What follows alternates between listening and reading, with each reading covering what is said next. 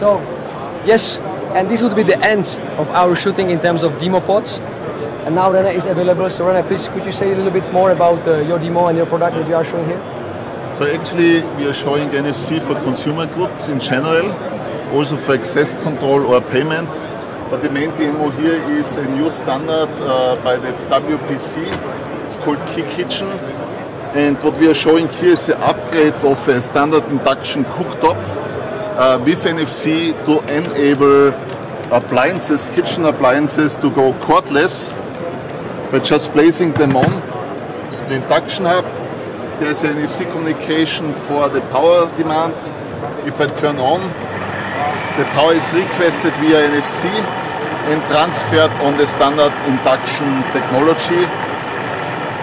It's uh, also very versatile in terms of placement. You can rotate it. It's very safe because there's no cord. What if it gets a little bit wet around or something? Uh, it doesn't matter actually because uh, there are no cables, nothing, no electricity, no contacts. It's pretty safe and even on a water kettle, for example, um, of course it takes a while now to cook up, but basically... So you just add NFC to standard induction? Exactly. So there's an NFC reader in the induction plate, a receiver in the appliance. Uh, those two are communicating for the power demand, and in the end, the requested power is delivered via the induction hub. And you can already see that the water is starting to boil in here. Uh, the kettle is getting hot, but actually below everything is staying cool as usual. And the nice really? thing is cool. Uh, warm. it depends. Warm. But not dangerous. Not dangerous. Stable. On, stable on the on and the full power. Full power. 2.2 kilowatt power delivery. Same like if you had a cable. Exactly, but just without the cable. The nice thing is that this is a, a dual function hub, so it means you can use it for cooking. You can do your scrambled egg, whatever you want but you can also put a cordless appliance on top and the power is delivered wirelessly. And the Ki Kitchen standard is also working uh, to make hidden transmitters. If you, for example, have a dining table, you can place it hidden below the table. And if you have a family come together and you put a cook on top of it, you need uh, you don't need to plug it in.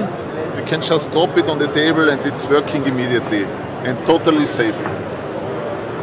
Nice. So NFC is really changing the world.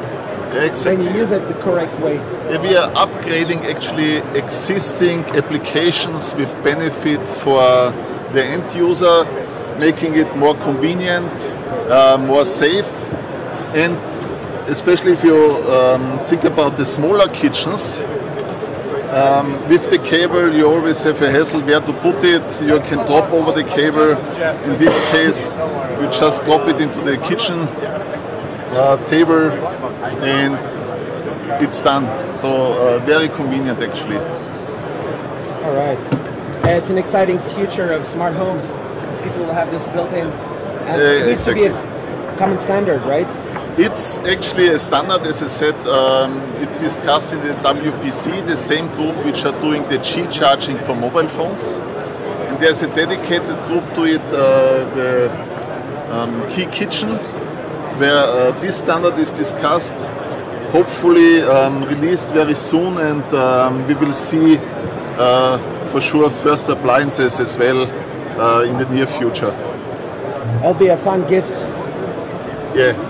Before this Christmas. Yeah, uh, I'm not sure. Let's As see. soon as possible. But basically, I would get something of those for my kitchen for sure. Nice.